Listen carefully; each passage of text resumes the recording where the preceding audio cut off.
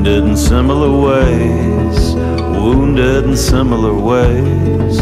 It sounds like something that a hippie would say, but the truth is we're wounded in similar ways. Hi, I'm here with, Amy Pickett Williams, um, and she's going to talk about her nonprofit that works with grief. She's a psychotherapist with a long, extensive history of working with a lot of issues, but especially grief and loss. And you know, I usually try and start the Taproot Therapy Collective podcast with kind of a silly joke or something. Doesn't feel appropriate here on a on a grief centric episode, so I think we'll just kind of go into it, and I'll let you um, talk about uh, some of your work, and um, you know, I'll chime in as needed if needed. That sounds wonderful. That sounds wonderful. I'm excited to share, and thank you so much for having me on your podcast. It looks like you guys do a lot to really touch the world. So it's an yeah, honor. Thank you so much. It looks like, based on your information, there's a lot of overlap. So I'm curious to see where that that Venn diagram, you know, kind of begins and ends, and and always interested in, uh, you know, new perspectives on on old issues. Yeah, absolutely. So if you'd like, I'll just dive in a little bit about my professional experience and then how our nonprofit got started and um, some of the some of the science behind why we have our nonprofit and the tools. Does that sound good? Yeah, that's great. All right. So um, I- I've been a grief therapist for over 25 years, and my heart song is actually working with families who have experienced the death of a child. But in the years of doing this work, it's morphed into working with all types of loss, including a family member or close friend, a pet, and then reaching further. And a lot of times people don't think about grief and loss in regards to the loss of a relationship or loss of self identity with transitions infertility, loss of finance, homelessness, and even globally, that sense of loss of safety and sense of peace with what's going on inside our world Mhm. with in regards to terrorism and war and global warming. I mean, all of those different areas can trigger a lot of experiences and feelings of loss. And so when we have these feelings and these emotions, I think what we found over the years is people aren't knowing how to work with them in order to grow with them. I think it's really important a caveat, and I've said this for years as a grief therapist, is we don't heal from grief, but we can grow from grief. The scar is always there, but ultimately the hope is our tree or our plant or our cactus will grow around that scar and be able to, as we integrate, in order to find purpose and meaning. If we learn to find purpose and meaning in our loss, we can hopefully work to obviously changing our own selves, but in the mo- more altruistic side, be able to change our world. And so mm-hmm. that's part of why our nonprofit was formed. And I'll, I'm happy to go into the personal story about that in just a minute. But the nonprofit itself um, has four goals it's to remind people they're not alone in their grief. So much of the time when we experience loss, we feel like we're the only one and no one can understand us. And while that is true to a point, everyone has their own story. The emotions behind loss are um, universal. Mm. And our second goal is to teach these somatic based tools that mind body connections. For some, it's that mind body, spirit, or soul connection that can lead to integration and finding purpose and meaning. Our third goal is to connect with other resources that support people in grief, like you, like your Mhm. podcast. And the fourth one is to stand in solidarity for all people and all types of grief. And I'd love to share a little bit with that fourth goal, how this all came to be, because it's very connected to that fourth goal. What Um, I'd, I'd love to um, kind of uh, engage you on two of the points you brought up because I think that would be a good invitation in for people who may feel like they don't work with grief or they don't understand it or that this isn't relevant to them. Um, I mean, the, the first one is like you said that um, this is something that you don't grief is some you, you said in so many words that grief is something where it's not uh, what i see is a lot of cognitive kind of avoidant counseling be like um you know like oh I, well, you're sad and then you get happy or i had this bad thing happen and i was sad and now i got better Mhm. and it's like what grief work is doing is dealing with something that is unhealable and irrevocable that you learn to grow around you know Mhm. and I think without That's that right. perspective, it's hard to to really do the work. And the and then the second point that you mentioned is that like that is a process of like everything global warming politics you know i saw people coming in with 20 in 2016 that didn't lose a child but they were still experiencing grief because the way they thought things worked was not how they were working or something like that and i think that yes. when people tell me they don't work with grief it's like no you just don't see it because like when um like i work with dissocial identity disorder a lot and i have a lot of people that say like well i don't work with people where there's lots of different parts of them and it's like everybody has lots of different parts, parts. you may not have That's amnesia right. between them but you're ignoring the parts you know like you're letting them fight right. with you you're engaging with the trickster and teenager and you know the, the mother wound and you're not separating them or you know whatever and to me it's like i i haven't um so many people who come in you're saying like no you don't want this to be real you don't want to accept this you're deflecting off of it you're pretending your emotions are powerful over it but it's just it, it just is what it is. You just don't want the world to work this way. It feels like it's not fair, it's not right, that you can't survive if this is the case. And that's mm-hmm. underneath uh, how almost every issue, you know, in therapy. I mean, I'm not comparing right. every issue to something like the death of a child or the death of a loved one, but we accept, grieve, and process things that way. You know, the language of the stages of grief is relevant to how we deflect about our ADHD not wanting to do taxes. You know, like mm-hmm. I don't mm-hmm. know. Could you speak to that, or is that something that that you see? Oh, absolutely. Um, I mean, losses around us all the time. And, you know, it can be, you know, in the trauma world, people talk about big T, little t. Um, and obviously in grief, we can have little lesser losses, right? And sometimes grief, there's a, it's important caveat actually, a, a little speak to that relates to what you're saying though, is that um, not all grief has trauma, but all trauma has grief. So it depends on obviously our autonomic nervous system and how we're impacted by that experience. So every day we experience losses, right? Like maybe we were working really hard on a proposal for our job and our boss said, sorry, this isn't going to work, right? That's a mini loss. But the important part with loss is that loss triggers loss triggers loss. And so while I maybe worked on a proposal for you know, a bit, I'm not a marketing person, but let's pretend like I am. And, and that my boss says, no, this isn't going to work for us. That may trigger those feelings of loss when our parents said in our childhood, you know, um, you're not doing this mm-hmm. right. And you did this mm-hmm. wrong. Right. And so it's important to know that it's, it can be accumulating. And if we don't know how to work with it, it's just going to build more and more in our mm-hmm. bodies, which can lead to physical issues and can lead to chronic um, illness and chronic, chronic stress. And so mm-hmm. we have to be aware that, yes, we experience loss every day. And then how do we work with that? Um, and the way I believe we work with it from a somatic perspective is looking at that window of tolerance. You know, Dan, Dr. Dan Siegel came up with that, and then Stephen Porges really um, broadened it with polyvagal theory. Mm-hmm. And one piece that I always share with my clients is if we are experiencing this loss accumulatively every day and we're seeing it on the news, part of what we need to do is learn how to get back in our window, right? Mm-hmm. Our, and I think of a window as that space of calm. Dr. Porges talks about ventral vagal. We could call it just our calming place. From a yoga perspective, it's called sattva. There's many different mm-hmm. ways to look at that window. And so one of the ways is we have to learn these tools on how to get back into our window so that we can cope and work every day. But the other piece that's just as important is how do we grow our window so that when we experience these losses after loss after loss, we don't go outside of it to that place of like intense anxiety or anger or to the opposite the the bottom side the in the part below the window where we're just immobile and we just can't function and so, one of the ways these somatic exercises can work is growing our window from like the size of, say, an attic window, which I'll see in my therapy office all the time, to maybe a sliding glass door window. So we can ride these waves when we experience loss. Mm-hmm.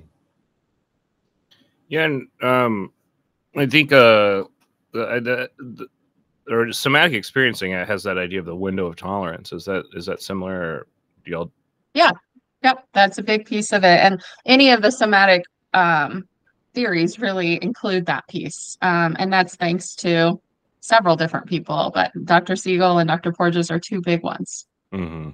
Mm-hmm. Yeah, absolutely. Peter can Levine, you, all of those big guys. Yeah. Can can and you gals. Say, yeah, Pat Ogden too. Um, can yep. you say anything about um, kind of your early observations of putting these theories together? Because I mean, my experience with the psychotherapists that are like really driven that go on to connect with the you know, whatever you know, however they want to conceptualize, you know, this kind of de- their depth modality and somatic and experiential stuff is like they already kind of knew it earlier in their career. They just didn't have the language. They didn't know the history of the profession, which isn't taught a lot of the time. And you know, you worked, you said, with pediatric and oncology. I mean, did you start to kind of see early like this is? Was there any kind of seed of what you do now in that? You know, when you were putting that together. Hundred percent. I mean, at the time, I didn't know. Like early in my training, I was not taught somatics in my mm. work. I mean, most of us in grad school, especially uh, maybe not now, but you know, I finished in the no, late nineties, and it's not evidence based. Yeah. You have to do CBT. It's the gold standard. Yeah. Okay. Well, good to know. Well, I mean, and so we were taught like talk therapy, right? And in reality, um, I was finding that you know sitting with someone and holding space is very very important, and I and I, I believe in that hundred percent. But I think what I was finding in my work with children that were dying and their family members after the death was holding space only went so far, right? Mm-hmm. you can mm-hmm. tell your story, but then how do you work with what is now inside your body and the science then came from that, right? In the um, er, mid 90s, we started recognizing it, but it really started about 10, 15 years ago, really recognizing that why we need to work with our body and that we do mm-hmm. hold the space in our body. And if you think about it midline, we have the chakras from a yoga perspective, we have the endocrine system, and we have the vagus nerve. So whether you're looking at it from an eastern or western side, all of this is re- is connected with our body. And from the vagus nerve perspective, is you know it's the 10th cranial nerve and it's a bidirectional highway but it really mostly goes body to brain over 80%. And yeah. so if we're just talking, we're not working with what we're holding in our body with loss. And so early on in my career, well, I didn't know about the vagus nerve back then. Mm-hmm. I knew that when I would just do some breathing with a with a patient or their family, and I would just take a moment, mm-hmm. and even if they were just mirroring what I was doing with that longer exhale, I would notice a little bit of calm. That's not to say that they weren't in such extreme agony, right? But they were able to take that moment in between those tsunami waves, mm-hmm. which leads me to that tsunami wave. I do want to speak to this. This is really important in the grief world. Um, Dr. Jill Bolte Taylor is the one that really recognized this. She was, I believe, a neuropsychologist or neurologist um, and I learned this tool many, many years ago that I taught with clients, but I didn't know who came up with it. So I had to do some research. But the way our brain works when we experience an intense, intense emotions of grief, our brains allow us to feel that feeling for about 90 seconds and then it dissipates. That's not to say that another tsunami wave isn't going to come back up, but it's probably been the number one thing that way early in my career I learned this. Um, and it might have was probably before her even people came up with it but that our brain will only allow that intensity for a short amount of time so it's in between those tsunami waves of the ocean that reprieve that we're able to work with our grief and mm-hmm. even Viktor Frankl spoke about that in his uh, incredible quote about the stimulus and response. It's in between the stimulus and response that we mm-hmm. can work towards our freedom, and in my and from my perspective, that growth, right, with mm-hmm. our grief. And so, I think going back to your question, learning that tool and then what do we do in between that stimulus and response to help our clients? Mm-hmm. And that's where the somatic piece really grew for me. Yeah, I, I, remember when I worked in hospice as like a social work student that I would so notice that uh, when I was getting people close to kind of an acceptance or realization of something, some part of their body would start to hurt and become intensely like overwhelmingly activated and then it would mm-hmm. pop and release and they would mm-hmm. express insight and they would express resolution um, and so i didn't really know what i was doing you know like but i knew pretty early on that if i could ask like where do you feel that in your body or like when you sit with that emotion what changes for you physically you could push people through that cycle faster you know the real resolution and then and then the next you know 15 years was building a language to understand that thing but if you kind of have to have that ability to see that connection between the brain and the body and that you know they are waves that kind of move of energy that move around you know not to be too woo woo there's a lot of scientific language mm-hmm. that we've got now but there is a connection, and this idea that the body is just this go kart that carries the brain around is kind of going out, even though academia and the AMA don't really want it to. Um, in clinical practice, it just sort of has to leave because it doesn't work. Um, Mhm. and uh, I don't know. I mean, it seems so when you're doing training, when you're preparing somebody who's going to go in, who's a social work student, who's a you know an LPC or a clinical psychologist, and they've heard this stuff for a really long time. What what is your licensure? What are, what you license as? Yeah, I'm a licensed clinical social worker and also Okay. I'm a yoga teacher. Me too. I was just curious uh, about how if your educational experience was any different from mine, but it sounds like based on what you said before, it probably was similar. Um, but the yeah, when you when you come in um, to the room and you you say I'm I'm 20, I've never even had a child, let alone lost one. I don't I can't understand. I can't relate to this person's experience. Uh, yeah, I can't tie it back to something that I know. And there's this insecurity that a, a younger person has. What would they learn at your trainings? You know, what would they learn from your experience or and work with you to be able to help help someone with that? Yeah, I, I'm actually glad you brought that up because, um, first of all, I recently gave a, a workshop to about 70 Parkinson's patients and their caregivers. And at the beginning of the presentation, some of them were saying, Well, I haven't experienced grief. And I thought it took me back for a minute, but it's because we think of it as death and dying, right? Mm. And in reality, in that training, in that first 20 minutes, we started talking about where have you experienced loss?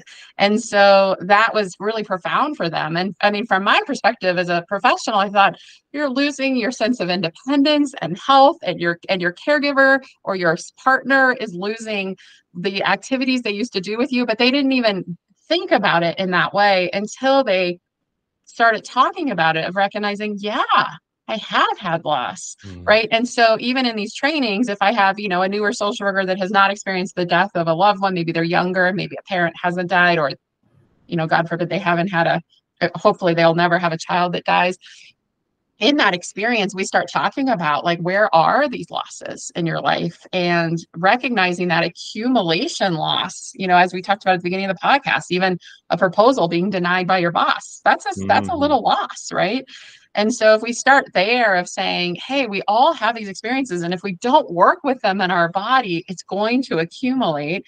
And if we learn how to work with some of these like quote smaller losses, right? We then learn the tools for then when we do experience bigger losses, because we all do. It's like we like I've shared many times before. That's the one thing none of us are immune from, right? Mhm. then maybe we have the capacity to stay in our window a little bit longer, or we learn how to get back into that window, that Mhm. window of being able to continue to go on, you know, every day. And when the time comes and we feel like we need extra support, there's so many grief resources out there, many different grief theories and grief support groups.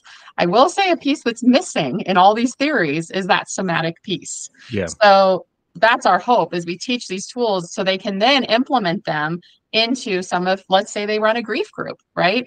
And it's not just about, you know, telling their story and what they're going to do to focus in on the loss and then focus in on the um, what they need to do every day of their life, but what are the tools to help them be on those sides? Well, and you say holistic grief a lot in your materials. And I I mean, I like when I hear things like that because I know that the person isn't just selling avoidance as the cure. And I think a lot of times, very medicalized psychotherapy and, and brief treatment, all those models that came out in the 90s that have solution focused or something in front of them, a lot of it is just, hey, think about something else. Now you're better in the room. Now I can pretend you're better forever. But there's not a growth, there's not an integration. You're just sort of moving right. something from anxiety to somatics or from the somatic reality to that one. Do you see that? Like, do you see people who have felt like they did the work or tried to get help and it didn't work and they come to you and that they make some kind of connection?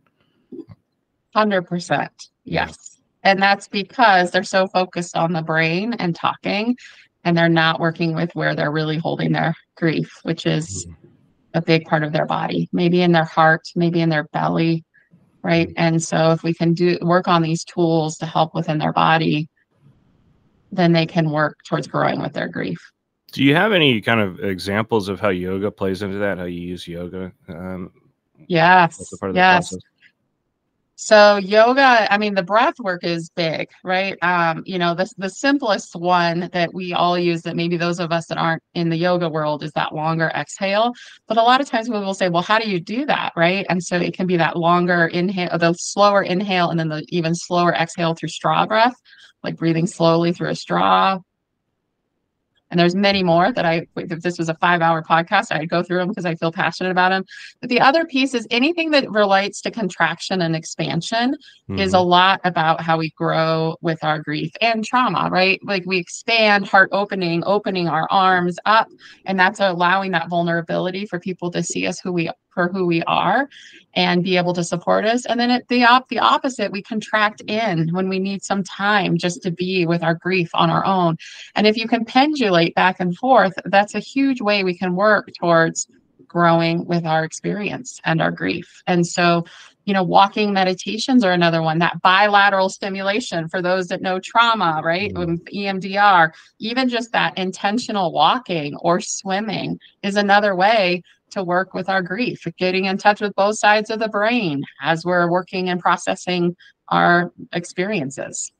Do you ever do anything with labyrinths, walking labyrinths or finger labyrinths?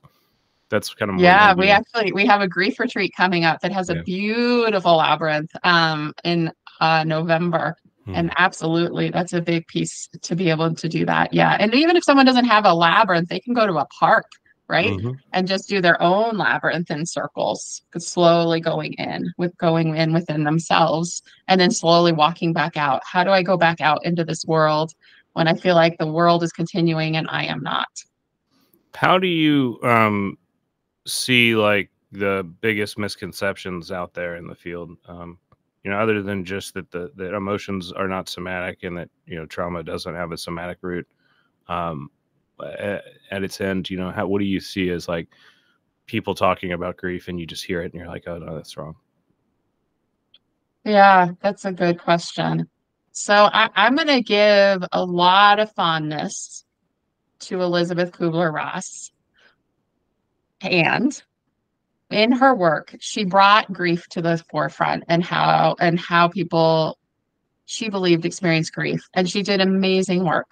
Mm-hmm. however the work she did was with terminally ill patients. Mm-hmm. It was mm-hmm. not with caregivers. And so the I think the biggest misconception out there is there really aren't set stages. There's many different ways people experience their grief. Um, and it's not a beginning and an end. Mm-hmm. And so I think that's still talked a lot about in the grief or uh, in the popular culture, popular world to recognize that it's a lot of chaos, right? When we're experiencing it, um, it's not linear and and sh- and she knew that in her work it's just it got a little bit misconstrued over the years so i would say that's a big area that needs to be talked more about is that it's not a linear progression yeah um, the the belief was that you go through the stages of grief like this, and if you go through them in this order, you're doing it right. If you get stuck, you're doing it wrong, or if you go backwards, you're doing it right. wrong. Is that what you mean? Well, and another thing about the stages of grief is like I use those with almost all my patients because what they're describing is how we pretend that our emotional reality can have power over an external reality. Like, oh, uh, mm-hmm. my anger is magic. I'm not going to let that happen. This isn't allowed. I'm going to act like my dad did when something wasn't allowed. Doesn't matter. He's dead. You know. Well, I, it doesn't change anything. I'm not. I'm not going to let this happen. I'm going to get up and make coffee. Like it doesn't matter. She's, you know, there's the there are ways that yeah. we deflect from an emotional reality, and everybody deflects like that. Even if it's that I don't want to do my taxes, like everyone That's deflects right. And says, anger is magic. You know, like well, if I don't think about it, it doesn't exist. You know, well, uh, if I, you know, all of those, all of those things, and so I, I use them all the time. Like, it, you, you ever heard of brain spotting or emotional transformation therapy? Do you have any overlap? Yes. Yeah, so yes. we do a little bit differently because emotional transformation therapy is a lot of devices, but it's like light color, some other stuff. We combine that a little bit with brain spotting, and you can see the pupil where you're on a spot, but the person doesn't really want to go through it. There's this resistance where it shrinks back down, and you see that like sympathetic nervous system being like, no, I'm all in my head, I'm all in my neocortex right now, and I will not feel that. And I'm always like, because they're and I always like when I see that, I ask the patient like, hey, it looks like you're telling me no, and they're confused because they're not talking, and I'm like, no, it looks like there's something that's like, I will not go there, I won't go there, don't take this away from me, I need this Do you feel that Mhm. energy? And they're not thinking of anything consciously a lot of the times. They're like, yeah, I do. What is that? I'm like, think about you're trying to wait, make this energy go away, or you're trying to make this energy, you're waiting until it's over, or just outlast it, or wait until somebody takes it away from you. You know, whatever metaphor works, none of that's happening. This is going to be here forever. This is an emotional arc that you have to complete. It's never going to go away. How can you be bigger Mhm. than it? How can you be bigger than around it? And a lot of times I'll, I'll try and make them yawn because it makes the parasympathetic nervous system flare up. And then all of a sudden, because I yawned, I can't be panicking anymore because I gotta. and and then you see the eye slowly start to wibble and then open and it dilates really big and then they are just so tired. And they think I Yeah. made them tired, and I'm like, no, that's how tired you were underneath this amount of anxiety. That's right. You know, maybe for a year, this is how you were supposed to feel.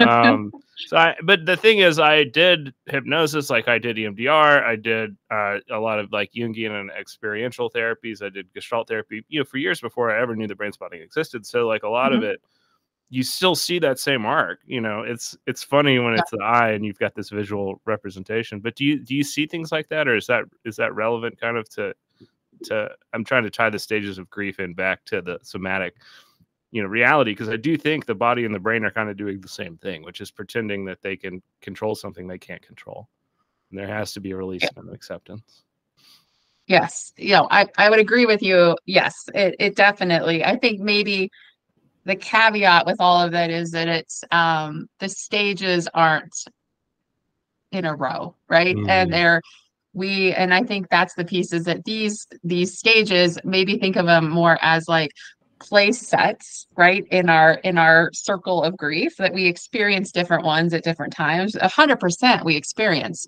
denial and anger and bargaining and you know all the different um there's many out there i mean many theorists since elisabeth kubler-ross have come up with many many more too Yeah. right? And so um absolutely we experience those emotions and those feelings on a regular basis and um but not everyone experiences all of them either right? And maybe someone experiences a lot of them and then years go by and they have another loss because surprise loss is always knocking at our door and then they experience those plus some more the next time or maybe what they experienced the first time they don't right? Mhm.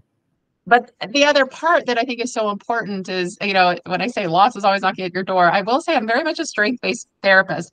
And I'm going to give a lot of credit to Deb Dana, who uh, worked with, works with Dr. Stephen Porges. And she did a beautiful job of making the language more accessible to the general public. And so Mhm. one of her beautiful gifts are glimmers, right? And so we have triggers all the time around loss we can also find those glimmers, those places of hope, like connection, right? That co regulation with another human being. Um, like going outside and in grief work, I tease some of my kid clients or, and, and say, you know, all of our grief is triggered by the five senses. And so they'll try to convince me, no, it's not, Amy. You know, they'll say, no, no, no, no, that's not true. You know, the other day I, rem- I was walking down the street and um, I saw this guy and it reminded me of my dad. I said, that's sight, right? And so it's, but then it's also important to note that all the glimmers are triggered by senses too, the five senses. And so we can have these triggers of loss when we see something and smell something and remind us of that experience of loss. But we can also have these beautiful glimmers of, you know, this woman sat next to me the other day and um, I didn't know her very well, but she just checked in with me because she noticed I was sad and it reminded me of my grandmother. Right. And it was a Mhm. beautiful thing. and do you have um like the the name light movement and then some of your work before you that leads you up to that can you talk about your personal experience or the, the way the decisions to structure the nonprofit and the trainings and the way um, that you that you do you know uh, Yes, I would be honored to. And um, this is where at the beginning you say you like to tell a little a joke, and I'll add a little bit of humor in it. So, um, so you know, I've been a grief therapist for many, many years. Um, during COVID, our youngest son, we have three children, had some major health issues, and so we had to be home longer than most until he was vaccinated. Um, per his medical providers. And so my parents were huge supports for us during this time. And but tragically during COVID, there was a freak accident. We were camping with my parents, and my parents own an RV. We don't, but they did. And um, he went to close the, his gate and there was a huge windstorm, which isn't super common in Denver compared to maybe other places in the country. And unfortunately, the wind, the gate um, blew him over and he fell on his head and he ended up with a brain bleed. And two days later, we withdrew life support. Now I'm going to backtrack a little bit. And that was a very, very hard, obviously, very hard experience for our family. And, um, but I'm going to backtrack previously um, because I think this is really important. And this is really what's what motivated all of this. During my career, my dad was an attorney um, and he was a very, he was known as a humble giant and he was six foot five and he spoke nationally on mandated reporting. He was an education lawyer and preventing school violence. And his last big hurrah was to ensure all students, um, he wanted all students to have safe public restrooms in public schools, including transgender youth. Mm-hmm. And so he did this be- these beautiful things for our country.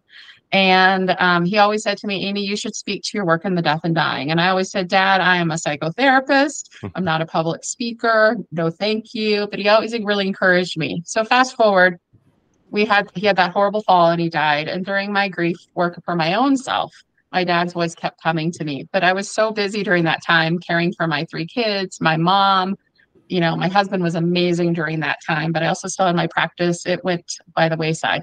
Well, then fast forward to last year, March in, um, of 2023, but it was actually my birthday. And my husband and I finally got a weekend away. And we went to Ojo Caliente, which are these hot springs outside Taos, New Mexico. And my husband's a huge mountaineer and rock climber. And so, of course, we're at the hot springs and he says, Let's go for a hike. And I said, Sure, we'll go for a hike. So we climbed up this big mesa to this beautiful mica mine. We got up there and there were shimmering diamonds. It was so beautiful, but I knew we had to go back down and I knew it was very steep going up. So we started down the path and about a third of the way down this mesa, there was this juniper tree that was strutting out from the ground. And I held onto the juniper tree. I hugged it, being the vegan hippie that I am. My husband is not a vegan or a hippie. And he said, Yes, Amy, I'm sure this tree has helped a lot of people. I said, I know this tree has helped a lot of people. Well, fast forward the last part of the hike, right before we're getting into the hot springs. It's like the steepest part. And my husband said, Do you want me to lead? And I said, No, it's my birthday. I'm leading this hike. And I started down this last steep part and I tripped and I fell. I fell 40 feet. I ended up with 600 cactus spines. Mm. I ended up with a fractured tibia, a severe concussion, but I should have fallen 100 feet.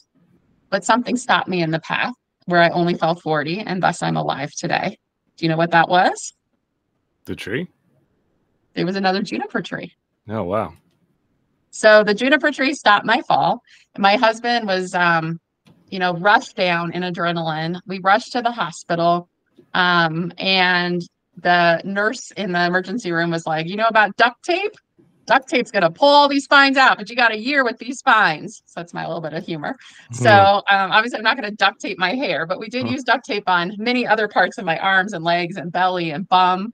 And so, um, anyway, we're they're doing the all spines these stay in. I'm not familiar with this. Like you they can't do. you can't just rip them they out. Do. You've got to wait. Oh, some you can rip out. The really big ones, like my husband pulled about a two inch one outside, like right by my spinal God column. But the really tiny ones, they stay in there for a very long time. Yes. Mm.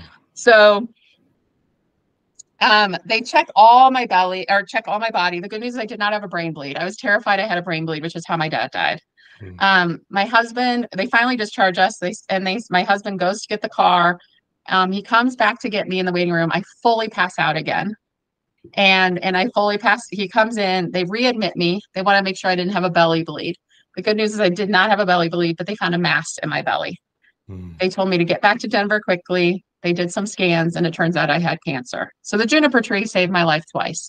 Mm. And so, uh, in this time of recovery last summer, my dad's voice profoundly came back to me over and over again and said, Amy, it's your time to start speaking to this journey of death and dying and grief and loss. And so, last year at this time, in September, this is very significant, and I'll tell you why in just a minute we got a group of 50 volunteers together to hold a solstice event in Dece- on the sol- December 21st.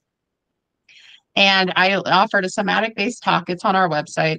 And we had these faith representatives from every potential faith we could find. So Christian, Muslim, Jewish, Buddhist, Native American, as many people to come in solidarity, to stand in solidarity for all people and all types of grief. Now, September significant because this was right before the horror of Gaza and Israel. And Mhm. so we planned it, then this happened, and yet we were still able to bring these faith representatives together and say, we believe that we all have to support all people and all their grief. And it was such a profound moment. And so it was a beautiful event. And about two weeks after the event, my dad's voice came back to me and said, Amy, you're not done. And so a group of volunteers, we formed this nonprofit that literally got 501c3 status this summer. And our goal is globally to teach these tools and from a social justice lens. So let's say someone from Africa takes our training and says, I love this, but I need to morph it for what fits for the people I work with. We hope they do that Mhm. right? And so our message is global. It's, you know, Colorado, nation, and world to be able to get these messages out to support people in their grief. And we did it, and we've done it in such a short amount of time. And so we have trainings and these and a retreat. We're start our classroom platform is going to build exponentially. Our hope is we get someone in your state to take our workshop and then say, "I want to volunteer for light." Our training is actually um, is tiered and it's very cheap for people that want to volunteer for our nonprofit. And so let's say someone said, I want to teach a class here um, and we'll do the donations to the light movement. Our training is really cheap for that reason because we want to really expand it. And obviously our hope is we can get some donor donations in as well to to make our mission. But right now we're all volunteers. How many um, people would you need to do a training like at Birmingham? Because there's a couple of the clinical directors around that have smaller, you know, practices or independent clinicians. I'll say like, hey, we could all save some travel costs if we can try and get this new treatment to this area. Because that was our clinic's mission with brain spotting. Nobody did it. Everybody thought it was crazy, and now it's like we're covered up with brain spotting providers in Birmingham. We've promoted it and talked about it and done all this stuff. So um, it that might be I mean, about how many would you need to, to do a training locally? That's a great question. Um, I would say, I mean, I in a beautiful world, we could get around 50, but our training is virtual as well. So Mhm. people can tune in online. Um, we have it, we have both mo- right now we're doing it in person and virtual. We may switch to just virtual as well. Um, and we'll offer this training in October, and then we're going to offer it again um, in February or March. Um, so we'll do a 20 hour in October. I know right now on our website it says a 40 hour. The 20 hours for like anyone, anyone and everyone. The one in the spring will also be another 20 hour plus another 20 hours for any yoga teachers to become grief sensitive and trauma informed practitioners. Is that um, something that like a social worker or LPC would get a CE for? If, if somebody's listening, Yes. wanting to, yeah. We have we have CEs through Spiritual Competency Academy through California, and most of us in the mental health world know that if California approves it, including clinical psychologists, APA approved, that most states it's reciprocal. I know in Colorado it is, and it, they say that ninety percent of states it's reciprocal. Well, one of the things that is uh, any of the CE providers that we talk to, I'll give them this tip because it, it really does work. Um, is that like, especially social work boards, but really all of them, nursing and LPC boards too. There's this big focus on auth- offering an ethics only requirement because the, there's ethical issues or people they anyway they think that you can solve ethics issues through CEs. Um, and so like our board i think it's like up to like eight hours of ethics that i have to get but there's no requirement other than ethics be somewhere in the title of the event you know so if uh, a lot of Oh. people if if you if you search for the ethics of grief or the ethics of working with grieving people or something it's like that makes that event now much more valuable to me because i don't have to drive eight hours and go to the seminar over here or i don't have to spend eight hours Right. in tuscaloosa at this one thing i can get something that i actually want that also is um yeah, because you know I'm just one of the most ethical people alive, and I don't feel like I need any more training in that in that area. Yeah. Totally kidding. Yeah, no, that's helpful feedback for sure. We're lear- Yeah. we're learning the the whole CE model, so Yeah. we're thrilled that we got it, right? Mhm. Especially the APA part because they are hard. Yeah, that one's that one's not easy. hmm But once you get it Mhm. though, everyone gets reciprocity everywhere, so you pretty much can sell to almost every state with the APA. So that's awesome. Yes. Congratulations. Yes. Yeah. Thank you. Yeah. Well, I hope So- social workers and LPCs all take advantage of this. Sorry, I didn't mean to cut you off. I just want to continue to remind people that you can Google this stuff. We'll link to all of it in the show notes. Um, but you can you can find it and and hopefully sign up for it. I'd love um, yeah, if the people at Taproot, and I'd, I'd, like to get one of your trainings in the future. The next couple months are pretty hairy for me, but um, you know, it seems to be something that's growing and increasingly more needed. So. I would love for you to attend. That would be really fun. And um, obviously, we have that virtual option, but we can definitely talk about um, offering something there at some point. Um, but the good news is the beauty of one of the glimmers of COVID is it's opened up this world of being able to do it virtually too. Mm-hmm. And um, when you can you say anything more about like the integrative nature of it? How somebody could be a provider that does Jungian therapy or Gestalt therapy or somatic experiencing or sensory motor, and that you know they don't have. It's not like it's not something they can use because it isn't explicitly from those modalities. I mean, it seems like what you're doing is at the intersection of a lot of different things. So I just want to give people the opportunity to to hear the relevance of it for them. Yeah, I, I think many, many, many, many different theories in psychology just don't touch on the body part of it. Um, and so, if we can get in touch with how we work with the body, that will help um, as a therapist, because many of us were trained how to do talk therapy, right? Um, and then the other part is including somatic experiencing and different um, somatic type um, theories out there. Um, we are experts in grief right? Mm-hmm. And so we want to bring in that grief piece for people that already may know about body based work, but understand how the science of grief, how it works um, in our brains and our bodies in order to work towards integration and finding meaning and purpose. And it's important to say finding meaning and purpose, I never mean that things happen for a reason. Some people believe that from their background, their religious faith, but that's not what light stands for um, because that's not true for everyone. It means how do I move how do I move forward as I've grown with this mm-hmm. grief? What can I do with this now? And that part is really important. The caveat that I think is really important for people to say. Like I said, I have clients in there that in here in my office every day that say, I believe this happened for a reason. And that's okay because that's part of their process. But that's not true for everybody. And mm-hmm. that's not true for most every parent who has experienced the death of a child.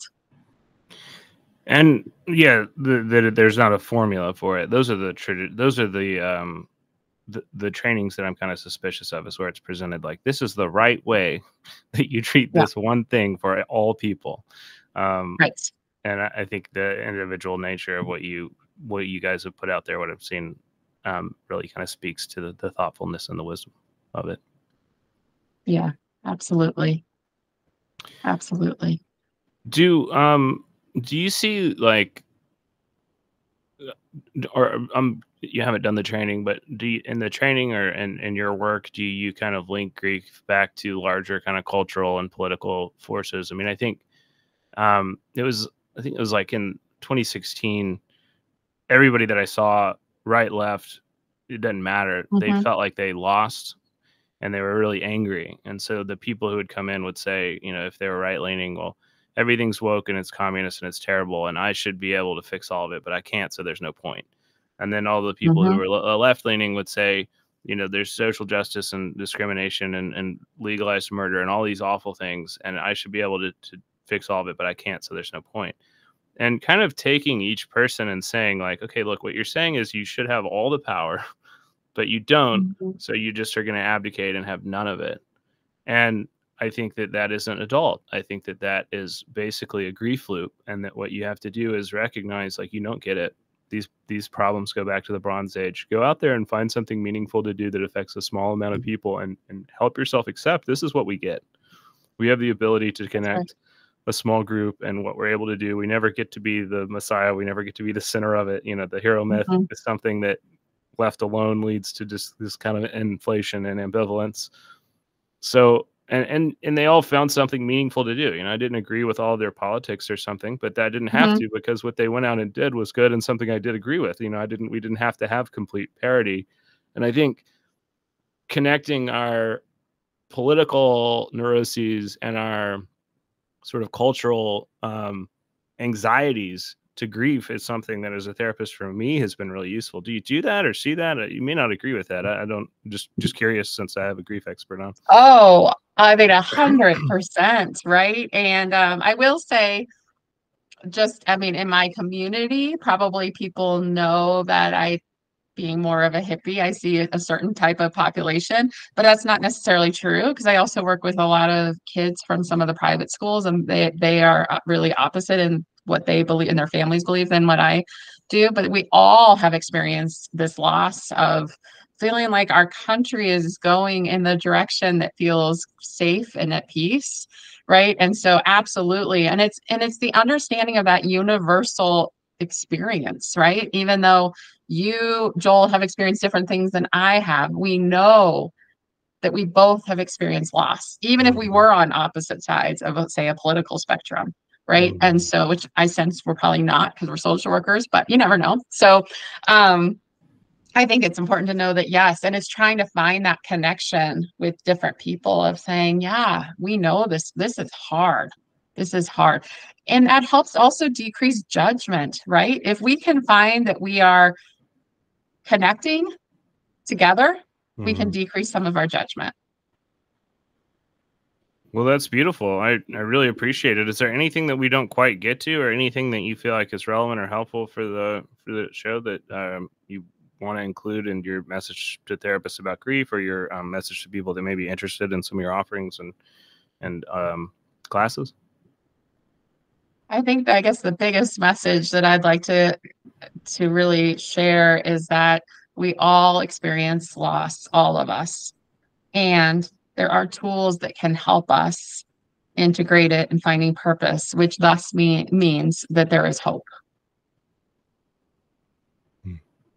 Well, that's that's beautiful. I thank you so much for coming on and for your time. And then I, my computer's a big all-in-one thing. I can't pick up the webcam easily, but I was going to show you. This wall behind you has a lot of paintings from Emil Bisttram um, of the Taoist Transcendental Art Movement. Um, oh, cool. that I've got because they kind of recommend. One of them reminds me of kind of a Jungian alchemical thing, and the other one reminds me of brain spotting. And then there's uh, yeah tapestry. Uh, That's beautiful. Yeah. I love that. Yeah. So uh, I really appreciate it. We'll link to all of these things in the show notes. Um, if you're in the Alabama area, whether or not you want to try and receive services through Taproot, there is a grief charity that we work with. Um, Be Brave for Isla. So anyone that's had a, a recent death of a child um, can can contact Be Brave for Isla and they're able to get some sessions reimbursed locally if there's a person who hears this.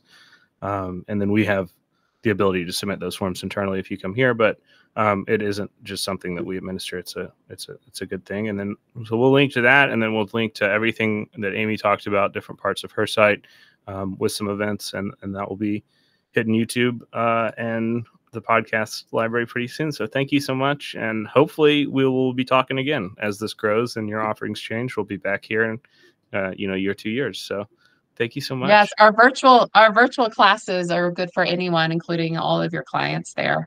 Um, and we'll be building that platform in the next month. Well, that's wonderful. That's great to know. Yeah, um, because we're just licensed here, um, so we can't see anybody outside of Alabama.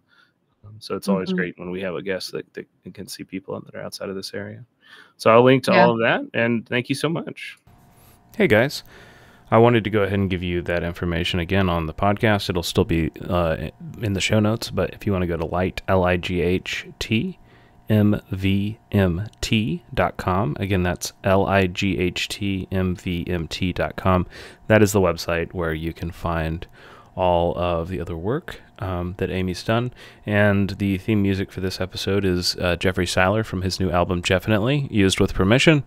Um, check it out. We have an interview with him, and uh, you can also check out his album anywhere albums are sold. Wounded in similar ways, wounded in similar ways. It sounds like something that a hippie would say, but the truth is we're wounded in similar ways.